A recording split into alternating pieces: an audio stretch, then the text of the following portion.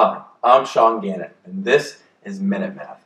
And today we're going to learn about the order of operations. And if I was given this expression, 40 divided by 4 minus 5 minus 3.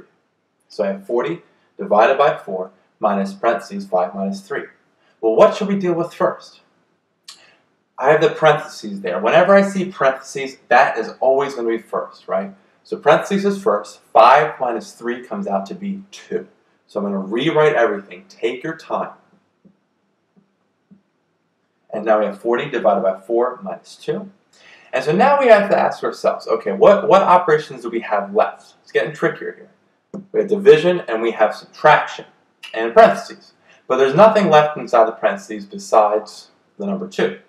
So now we have to deal with division, right? Division comes before subtraction. So 40 divided by 4 is 10, minus what's left is 2. So 40 divided by 4 is 10. And then we have 10 minus 2, which comes out to be 8. So my final answer here is 8. Again, we have division, subtraction, like another subtraction in parentheses. We dealt with the parentheses first, and then we had to go back to the division to get our final answer of 8.